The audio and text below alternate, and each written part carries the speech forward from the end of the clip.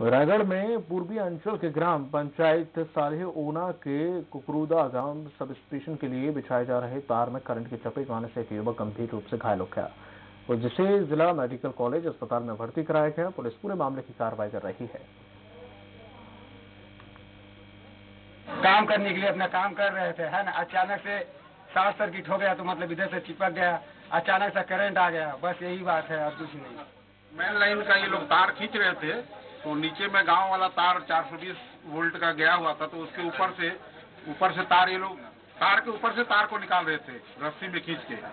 तो जब वो तार मतलब लूज हो गया तो तार से तार टकराया उसमें तो मैं बोला भी कि लाइन वाइन काट के करो स्टार्ट हो जाएगा बोल के। तो जो आदमी चिपक गया, वो भी बताने गया था एक्चुअली कि यहाँ तार लूज है, चिपक जाता है बोल के।